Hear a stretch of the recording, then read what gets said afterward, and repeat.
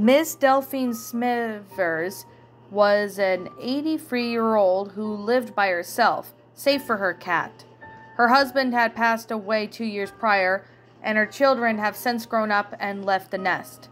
But come Christmas time, and Miss Smithers usually gets her joy on whenever her grandchildren paid a visit.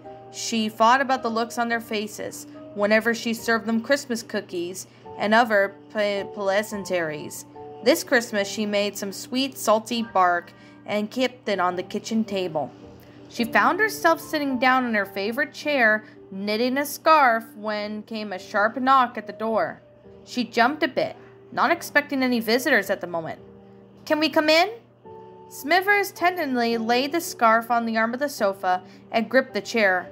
Her frail bones popped and shifted, but getting up from the chair, Smithers collected her walking stick and trudged rigidly towards the front door. Another sharp knocking ran out, that time with more agitated than previously. I'm coming! Hold on! Smithers yelled. She grasped at the doorknob and slowly turned it counterclockwise. The door creaked open. On the other side of the door were two children, a boy and a girl. The boy appeared older, presumably around 13, and he wore a demi hoodie and gray pants. He was holding the hand of an eight year old girl who was wearing a blue dress with white lace. For whatever reason, the children had their heads bowed, looking at their feet. The boy, the boy repeated his question Can we come in? Smithers scratched her head. It was 10 p.m. Why would these children be at their ho- her house at that time of night? Somehow the boy must have realized what she was thinking. We need to borrow your phone. My cell phone's battery died. Smithers thought about it for the suddenness of having these unexpected guests, but they were children regardless. At the very least, she would grant them this one request. She nodded her head, gesturing the children to come on in. Smithers directed them to the living room, where her cat droned awake from the ruckus. When it sets its eyes on the two mysterious children, the cat arched its back and hissed. Smithers walked over to silence her cat. Lex, these are our guests. Behave yourself. The cat meowed in defeat before running out of the living room and into the kitchen. The two children sat on the sofa with their eyes still hidden. Smithers went into the kitchen and then pulled out a plate of sweets and salty bark. She returned to the living room and bent down on the children's eye levels. Care for some sweets? The boy looked up. There was a good reason as to why he was shielding his eyes. They were devoid of color or pupils. Nothing more than pitch black nothingness. Whatever he was, he assuredly was not of the earthly realm. The girl looked up as well. Her eyes matched the coal blackness of the older boy. And yet, the most bizarre, Smithers smiled as well as the children, despite how hollow sockets that they call eyes. The children were speechless at first. They shared a puzzled glare. The girl waved, waved her hand right in front of the Smithers' face, but Smithers didn't follow the path of it.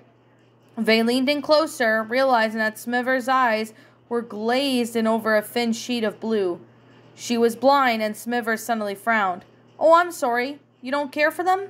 Ah, uh, thank you, the boy said. He took a piece of the sweet and salty bark and broke it off in his hand before passing a girl a piece.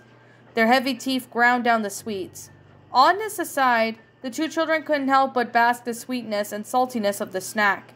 They indulged themselves in more sweets before getting up. They looked at the decorations with curiosity. On top of the fireplace at the stand was a small replica of the nativity scene. From her mental notes, she figured that the two children had stopped at the fireplace. Isn't this such a lovely display? she asked. Do you know the story of Christmas? We know about your Jesus, the boy responded. Our ancestors spoke a lot about him. Confused by the statement, Smithers nevertheless allowed the children to further marvel at the Christmas decorations. The girl rustled the Christmas tree, causing the ornaments to fall on the ground. She seized when she sensed Smithers getting upset.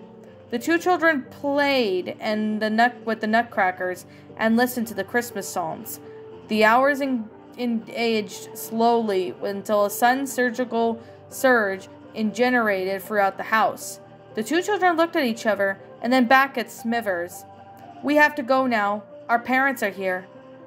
Bright light shone through the windows. Outside was the spherical, smooth craft half standing on three legs. A large, skinny looking creature exited out of the craft and stood there at the door. The two children collected the plate of sweets and salty bark and exited through the front door. Then came a sound of large whistle, as if there were a thousand steam engines situated outside. Within a flash, the craft was gone. Smithers was called out by the two children, only to be met with great silence. She closed the door and then returned to her knitting, as if nothing had happened.